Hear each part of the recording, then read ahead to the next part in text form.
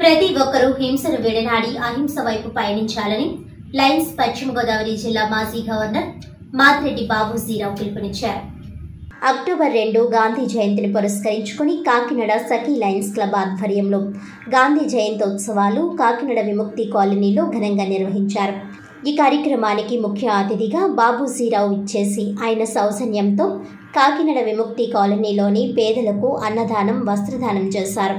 ఈ సందర్భంగా ఆయన మాట్లాడుతూ ప్రతి ఒక్కరూ గాంధీజీ ఆశయాలకు అనుగుణంగా సహనము శాంతి సమసమానత్వము అహింస మార్గాన్ని ఆచరిస్తూ స్వచ్ఛ భారత్ దిశగా దేశ అభివృద్ధికి తమ వంతు కృషి చేయాలని అన్నారు.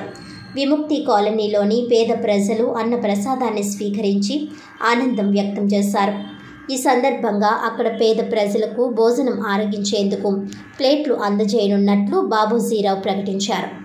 ఈ కార్యక్రమంలో సఖీ లయన్స్ క్లబ్ సభ్యులు బాబూజీరావుని సత్కరించారు.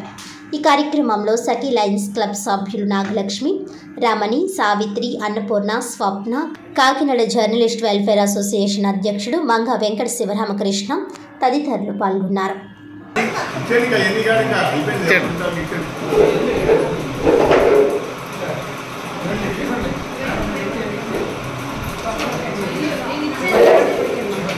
ఇచ్చాను మేడం.